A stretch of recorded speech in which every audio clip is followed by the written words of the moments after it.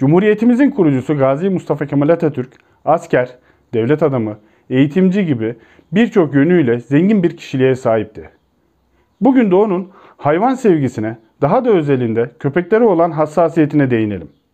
Gazi Mustafa Kemal Atatürk'ün köpek sevgisi, daha babası Ali Rıza Efendi'yi kaybetmesinin ardından dayısı Hüseyin Ağa'nın çiftliğine yerleşmesiyle başladı. Çiftliğe yerleştiklerinde komşular iki tane yavru köpek hediye ettiler. Köpeklerin isimleri Cin ve Alev'di. Köpek sevgisinin daha çocukluk döneminden başlayacağı buradan anlaşılmaktadır. Atatürk'ün ilk köpeği Sofya Ateşesi olduğu dönemde daha yavruyken sahiplendiği, bakımı ve eğitimiyle bizzat ilgilendiği Alp isimli setter cinsi köpekti. Atatürk'ün yanından hiç ayrılmaz, odasında yatardı. Hatta Atatürk'e o kadar alışmıştı ki Atatürk'ün uyanma saati geldiğinde kalkmadığında kontrol edip onu uyandırırdı. Alp, Nablus'ta bir hava saldırısı esnasında kayboldu. Hava saldırısının ardından bulunamaması Atatürk'ü çok üzmüştü. Ardından İstiklal Savaşı'nda Yunan komutanının arabada bırakıp kaçtığı Alber isimli sarı beyaz renkli av köpeğini sahiplendi. Alber'i de çok sevdi.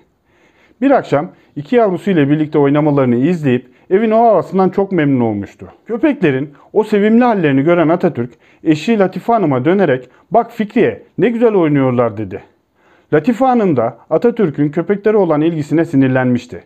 Nuri Jonker'in kızı Kıymet'in Atatürk'le ilgili olarak anlatmış olduğu hatıralardan anladığımız kadarıyla Alber ile Fox isimli köpeklerinin arasında Collie isimli tazı cinsi bir köpek daha vardı.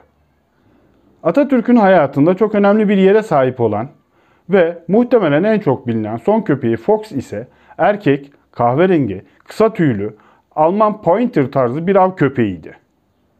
Atatürk'ün Fox ile karşılaşması bir Türkiye seyahati esnasında oldu. Yalova'da banyolarda fotoğrafçılık yapan Hasan Efendi'ye ait yavru bir köpekti. Bir sabah gezintisinde köpeği görüp seven Atatürk çok güzel bir şey dedi. Bu ilgiyi gören fotoğrafçı bu tabloya kayıtsız kalamayarak ismini Fox koyduğu köpeği Gazi Mustafa Kemal Atatürk'e hediye etmek istedi.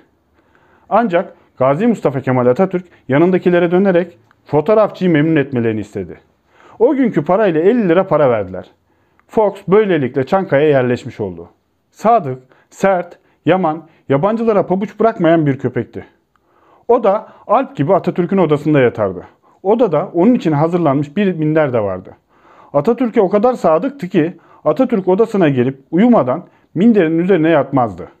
Fox, yavruluğundan beri Gazi Mustafa Kemal Atatürk'ün yanında bulunmasından dolayı ona karşı aşırı korumacıydı. Hatta bu duygusu nedeniyle bazen saldırgan tavırlar sergileyebiliyordu.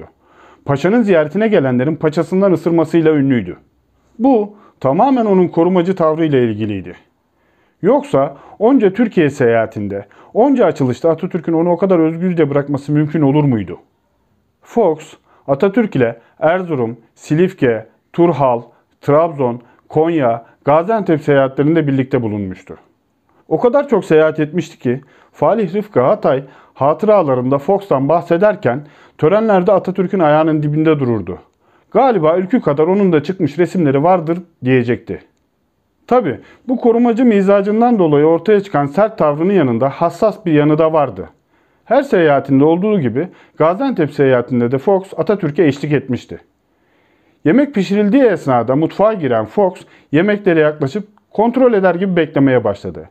Bir müddet daha yaklaştığında aşçı Fox'tan rahatsız olarak mutfaktan uzaklaştırıldı. Akşam yemeği için masa hazırlandığında salondaki Atatürk dahil herkes Fox'a yemeğini yedirmeye çalıştı. Ancak Fox yemeğini yemedi. Bunun üzerine Atatürk muhakkak köpeğe bir şey söylemişsinizdir. O yüzden hepinize küsmüştür dedi. Fox'un yaşı ilerledikçe yaramazlıkları da ortaya çıkmaya başlamıştı.